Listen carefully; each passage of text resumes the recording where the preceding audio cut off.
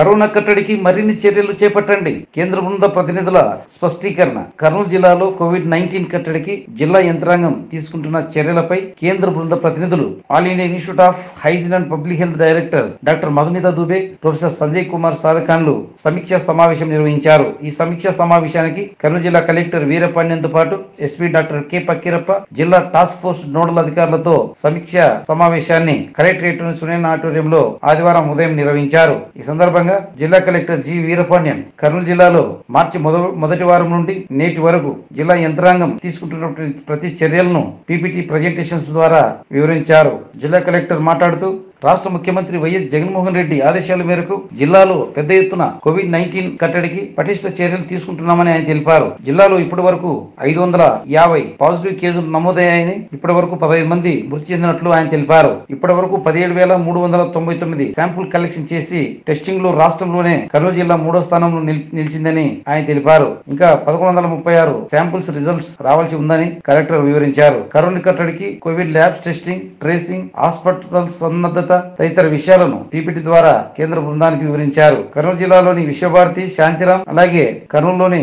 Covid ఆసుపత్రులలో డాక్టర్లు వైద్య సిబ్బంది అందులోని నాన్ ఐసీయూ బెడ్స్ వివరాలు ప్రస్తుతం చికిత్స పొందుతున్న బాధితుల వివరాలన్నింటినీ కూడా ఆయన వివరించారు. మొట్టమొదటిసారిగా కర్నూలులో హాస్పిటల్ కాని చైతన్య కాలేజ్ ప్రభుత్వ కోవిడ్ కేర్ సెంటర్ నుండి పద్నాలుగు మంది కోవిడ్ విజేతల డిశ్చార్జ్ జరిగినట్లు ఆయన తెలిపారు. కోవిడ్ ఆసుపత్రి నుండి ఎనభై సంవత్సరాల వృద్ధుడు ఒకటిన్నర సంవత్సరం వయసు ఉన్న చిన్నారి బాలిక కోవిడ్ జయించి డిశ్చార్జ్ కావడం వైద్యుల్లో ధైర్యాన్ని నింపిందని ఆయన తెలిపారు. కరోనాపై పోరాటం చేస్తున్న వైద్యులకు పీపీ కిట్లతో పాటు ఎన్ నైన్టీ ఫైవ్ మాస్కులు తగినంతగా ఉన్నట్లు ఆయన తెలిపారు. కర్నూలు నంద్యాల కంటోన్మెంట్ కస్టర్లలో నిత్యావసర వస్తువులు మెడిసిన్స్ డోర్ డెలివరీ ద్వారా అందిస్తున్నట్లు ఆయన తెలిపారు. ప్రజలకు అవసరమైన నిత్యావసర సరుకులను డోర్ డెలివరీ చేస్తున్నట్లు ఆయన తెలిపారు. మొబైల్ రైతు బజార్లు ఏర్పాటు చేసి కూరగాయలను అందిస్తున్నట్లు ఆయన తెలిపారు. కోవిడ్ నైన్టీన్ వల్ల క్వారంటైన్లో చేరి పద్నాలుగు రోజులు వైద్యం తీసుకున్న అనంతరం పరీక్షలు నిర్వహించి నెగిటివ్ వచ్చిన వారిని మాత్రమే డిశ్చార్జ్ చేస్తున్నామని ఆయన తెలిపారు. కోవిడ్ విజేతలకు ఒక్కొక్కరికి రెండు వేల రూపాయల నగదునిచ్చి పంపనున్నట్లు ఆయన తెలిపారు. ప్రతి కుటుంబానికి మూడు మాస్కులు ఇవ్వాలని సీఎం జగన్మోహన్ రెడ్డి